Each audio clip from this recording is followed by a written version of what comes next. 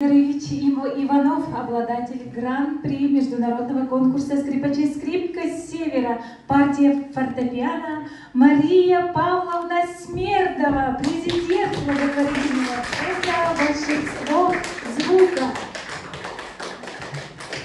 Сергей Рахманинов, вокалист.